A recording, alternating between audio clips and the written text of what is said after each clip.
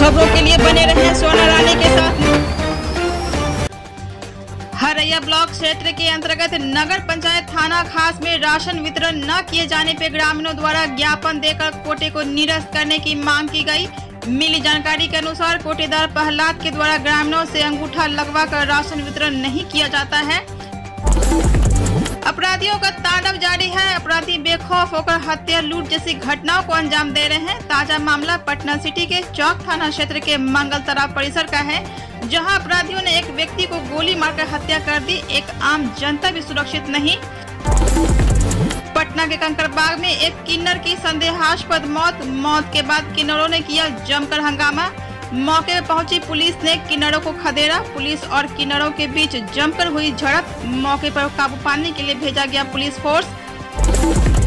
पोकेले थाना अध्यक्ष प्रदीप कुमार सिंह के नेतृत्व में नौ वारंटियों को किया गया गिरफ़्तार। बस्ती पुलिस अधीक्षक आशीष श्रीवास्तव द्वारा अपराध और अपराधियों के विरुद्ध चलाया जा रहा है अभियान।